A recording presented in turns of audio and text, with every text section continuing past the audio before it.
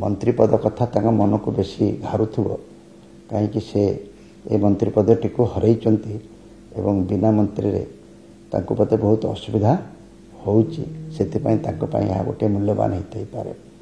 ମାନ୍ୟବର ପୂର୍ବତନ ମନ୍ତ୍ରୀ ଏବଂ ବର୍ତ୍ତମାନର ନୟାଗଡ଼ ବିଧାୟକଙ୍କର ଏ ପ୍ରକାର ମତ ମନ୍ତବ୍ୟ ଶୁଣି ମୁଁ ଅତ୍ୟନ୍ତ ଯାହାକୁ କହନ୍ତି ଆମୋଦିତ ହେଉଛି। ମୋ ମନକୁ ପ୍ରଥମେ ପ୍ରଶ୍ନ ଉଠୁଛି ମୁଁ ଦୁଇ ସପ୍ତାହ ପାଖାପାଖି ହେବ ତଳେ ଗୋଟିଏ ସମ୍ପାଦକୀୟ ପ୍ରଥମ ପୃଷ୍ଠାରେ ଲେଖିଥିଲି। ଆତ୍ମବିଭୋର ପ୍ରଶାସକ ଅସହାୟ ରାଜନେତା। ଅରୁଣ ବାବୁଙ୍କୁ ପ୍ରାୟ ଚଉଦ ଦିନ ପାଖାପାଖି ହେବ ସମୟ କାହିଁକି ଲାଗିଲା ଏଥିରେ ପ୍ରତିକ୍ରିୟା ପ୍ରକାଶ କରିବା ପାଇଁ ଯଦି ସେ ଏତେ ବଡ଼ କଥା କହୁଛନ୍ତି। ମନ୍ତ୍ରୀ ପଦକୁ ମୁଁ ଆଦୌ ଗୁରୁତ୍ୱ ଦିଏ ନାହିଁ କି ମନ୍ତ୍ରୀ ପଦ ପାଇଁ କୌଣସି ଲବି କରିନାହିଁ କି ମୁଁ ସେଥିପାଇଁ ବ୍ଲାକମେଲ୍ ଯେଉଁ ଶବ୍ଦର ବ୍ୟବହାର କରୁଛନ୍ତି ସେ ହୁଏତ ଜାଣିନାହାନ୍ତି ବ୍ଲାକମେଲ୍ କାହାକୁ କୁହାଯାଏ। ସେଥିପାଇଁ ମୁଁ ତାଙ୍କୁ ଦୋଷ ଦେଉନାହିଁ। ମୋତେ କାହିଁକି ଲାଗୁଛି ଅରୁଣ ବାବୁ ଯାହା ସବୁ କହିଛନ୍ତି ଏହା ତାଙ୍କର ମନର କଥା କି ହୃଦୟର କଥା ନୁହେଁ।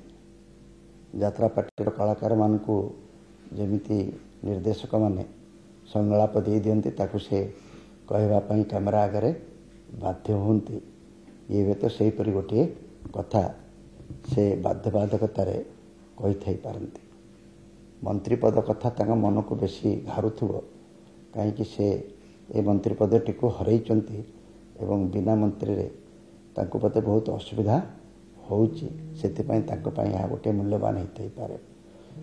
ମୁଁ ଏ ସମ୍ପର୍କରେ ବିଶେଷ କିଛି କହି ତାଙ୍କୁ ଅଧିକ ଗୁରୁତ୍ୱ ଦେବାକୁ ଚାହୁଁନାହିଁ ଶେଷ କଥାଟି ହେଲା ତାଙ୍କର ଯେଉଁ ମାଟି ଆଉ ପାଟି କଥା ମାଟି ପାଇଁ ମୁଁ କ'ଣ କରିଛି ନ କରିଛି ସେଥିପାଇଁ ମୁଁ ଅରୁଣ ବାବୁଙ୍କଠୁ ସାର୍ଟିଫିକେଟ୍ ଚାହୁଁନାହିଁ ଓଡ଼ିଶାବାସୀ ଯେଉଁମାନେ ମୋତେ ଜାଣନ୍ତି ସେମାନେ ନିଶ୍ଚୟ ଜାଣିଥିବେ ମୁଁ କ'ଣ କରିଛି ନ କରିଛି ବିଶେଷ କରି ଖଣ୍ଡପଡ଼ା ମାଟି ପାଇଁ ମୁଁ କିଛି କରିଛି ବା ନ କରିଛି ସେ ବିଷୟରେ ପ୍ରଶ୍ନ ପଚାରିବା ପାଇଁ ଅରୁଣ ବାବୁଙ୍କର କୌଣସି ଅଧିକାର ନାହିଁ। ଖଣ୍ଡପଡ଼ାର ଯେଉଁ ଭୋଟର ଭାଇ ଭଉଣୀମାନେ ଅଛନ୍ତି ଯେଉଁମାନେ ମୋତେ ଗତ ନିର୍ବାଚନରେ ସର୍ବାଧିକ ଭୋଟରେ ନିର୍ବାଚିତ କରିଥିଲେ ସେଇମାନେ ଏ ପ୍ରଶ୍ନ ପଚାରିବା ଅଧିକାର ରଖିଛନ୍ତି ଏବଂ ମୁଁ ତାଙ୍କୁ ଉତ୍ତର ଦେଇଛି ଏବଂ ଦେବି ମଧ୍ୟ।